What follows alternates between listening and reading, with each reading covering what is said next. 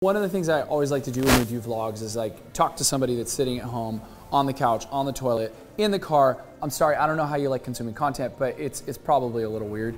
But wherever you are, sitting where you are, going, I don't like my life, I don't like my boss, I want to change my life. But it seems undoable, right? Because we all have these self-limiting beliefs. All of us at some level do. Where do you where do you start?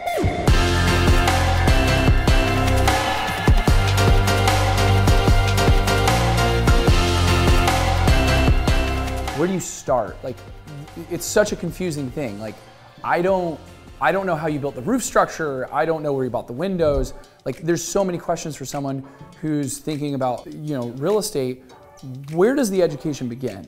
Yeah, absolutely. I think getting around the people are doing what you want to be doing. Uh, that, I know that was true for me. I read my first real estate book. I was 19. I was in the Marine Corps. It was called The Millionaire Real Estate uh, Mentor, From Rags to Riches, Building Wealth Through Real Estate. And he talked about making money while you sleep. It's like, well, shoot, I'm working 60 hours a week, making 1,200 bucks a month. I see what that looks like, hmm. right? I like this other idea of making money while I sleep, so I pressed into it. It didn't happen overnight though, right? It, it, it, I bought my first place when I was 21, two years later. I was able to get a mortgage and, and buy a place, and then the market crashed. A lot of times you gain experience or success from experience. Like success comes from experience. Experience comes from decisions, primarily bad decisions. So you yeah. make bad decisions, it gives you experience, and then from that experience you make good decisions that leads you to a level of success. So I think it takes grit, I think it takes perseverance, and I think it takes really being around the right people. You are who you surround yourself with. So when you get with the right people at the right place at the right time, the right things pretty much always happen for you. If I can do it, you can do it. If I can start from making 1200 bucks a month as a Marine to when I got out of the Marine Corps, my first deal was over a decade ago. We had $2,500 um, that we had to put our deposit down. I didn't even have the cash. I had a boat that I bought when I got out of the Marine Corps. We got the deal under contract. It's like, okay, me and my partner had to come up with 2,500 each. I sold my boat for 3,500, put my 2,500 in. Um, and then the rest was history. Went on to, to do a lot of flips, start multiple companies, but really being passionate about something. And, and I think for me, it was when somebody gave me permission that it's okay to make money, right? It removes self-limiting beliefs, mm. and, and that came from being around the right people. Yeah, and these are, I'm assuming the windows, I, I don't, Those are. I don't have to be a real estate expert to spot that. Yeah, it could, could be a sliding door for a shorter person, but it's, uh, it, it, it, these are the windows.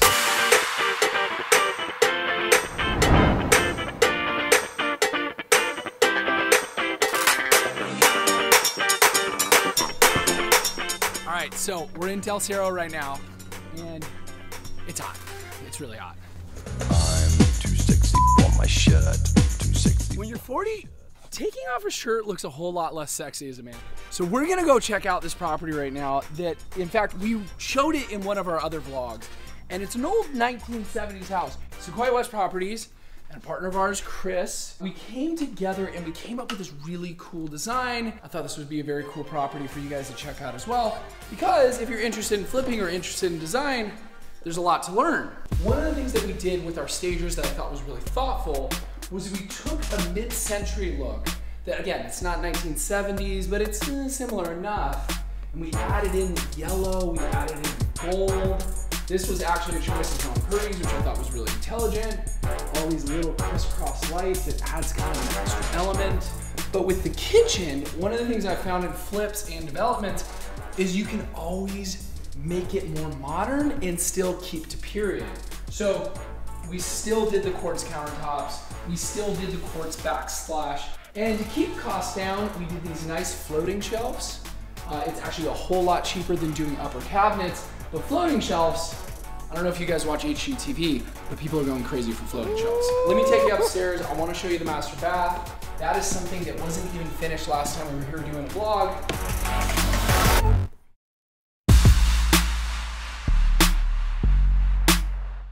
As you can see, it's flooded with light, and that's facing straight west. So we knew when we took this project on, for around 900,000, we could probably sell it between 1.5 and 1.6 million because that's what that view is actually worth. But this bathroom was really awkward. In fact, the bathroom was over, the, the toilet was over here, the sink was over here, a closet was over here, a shower was over here. This has been completely rejigged You still have the dual sinks, which I think is great for a couple. I found that if you can knock the master bathroom out of the park, and knock the kitchen out of the park, you're gonna have a good sale. And this is what's attracted all of our buyers. Not only did we fit one shower head and two shower heads, we have a third shower head with a bench seat, with all the penny tile, and this little thing. Which to be honest, I put these in a lot of properties and I don't even know what you use it for. Maybe places that you can't reach.